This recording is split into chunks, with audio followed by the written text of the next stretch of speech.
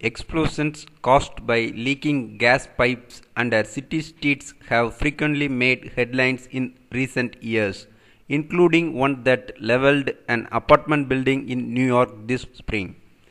Pipeline leaks may present serious economical and health problems. Therefore, leaks must be quickly detected, located, and repaired. Unfortunately, most state of the art leak detection systems have limited applicability and they are neither reliable nor robust.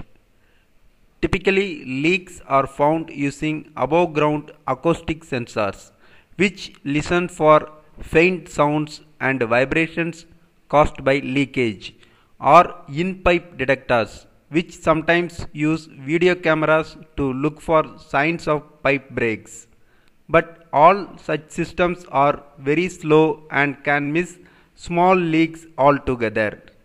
Now researchers at MIT have devised a robotic system that can detect leaks quickly and with high accuracy by sensing a large pressure change at leak locations. This new system can detect leaks of just 1 to 2 millimeters in size and at relatively low pressure. The system can detect leaks in gas pipes, water pipes, or in petroleum pipelines. The researchers have begun discussions with gas companies and water companies about setting up field tests under real world conditions. Current acoustic tests are only effective for detecting sound and vibration in metal pipes. Plastic pipes tend to dissipate the sounds too quickly. Such systems are also time consuming and require expert operators. But the newly developed small robotic device can move as fast as 3 miles per hour through pipes and are almost entirely automated.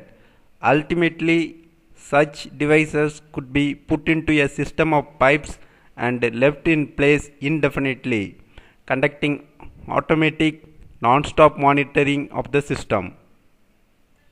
Leaks in water pipes can waste up to half the water in a system.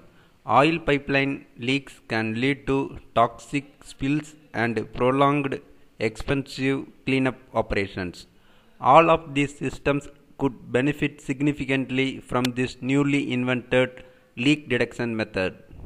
The robotic device consists of two parts. One part is a small robot with wheels to propel it through pipes, and another part is a drum like membrane that forms a seal across the width of the pipe.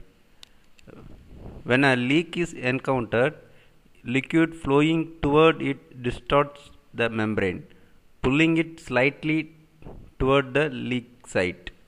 That distortion can be detected by force resistive sensors via a carefully designed mechanical system similar to the sensors used in computer trackpads and the information sent back via wireless communications. At present, the system requires a fairly uniform pipe diameter, but the researchers are working on a version that will have more flexibility to deal with variations caused by damage, obstacles, or scale buildup inside pipes.